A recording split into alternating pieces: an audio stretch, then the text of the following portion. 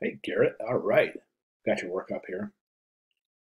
I'm going to take a look. First thing I want to look at is your, your, your written portion. So let's do that.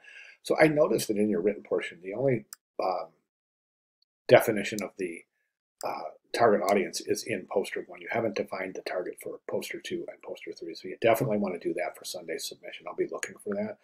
Uh, and, and be really specific in defining your target audience. Be as specific as you possibly can. It's really, really important. I've said this in many of the other uh, video critiques in this thread, but any graphic design project is only as good as, as its ability to communicate to the intended target audience. Um, so it's really, really important. And to, you want to define that target audience as specifically as possible.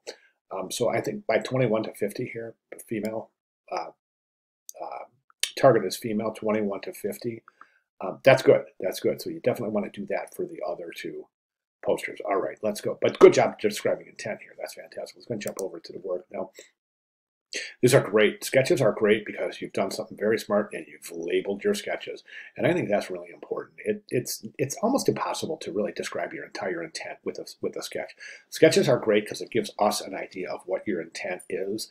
Um, but it, there's a lot that can be, you know, included, and that's where labeling comes in. So I'm, I'm a big fan of labeling labeling sketches.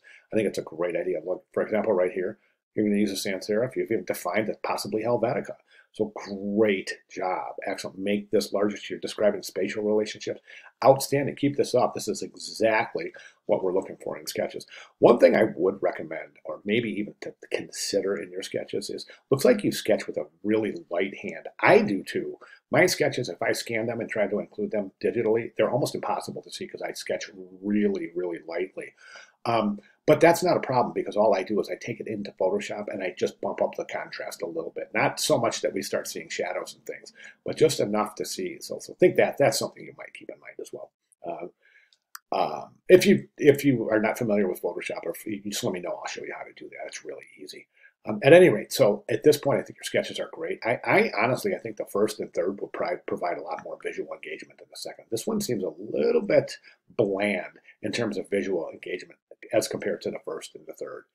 Okay, so, uh, but that doesn't mean if you can make this pop, go right ahead and do it. But I, I, think the first and the third really have a lot of potential. So at this point, let's go ahead and uh, uh, complete your your written writing with the target audience, and um, and then you can decide. It, it, the sketches are fine. You go submit those as is. I would just like to see a further definition of the target audience for Sunday's submission. Um, as far as moving forward, pursue the direction you feel has the most potential. So, so go ahead and think it through, decide, and, and I'm perfectly fine with you pursuing what you feel has the most potential or whatever you feel most passionate about. All right. So, um, oh, yep, target audience. That's about all I have. So great job. Thank you very much, Garrett. I appreciate your um, submission. And of course, if you have any questions at all, please let me know quickly and I'll, I'll be glad to get back to you quickly. All right. Great. Thanks, Garrett.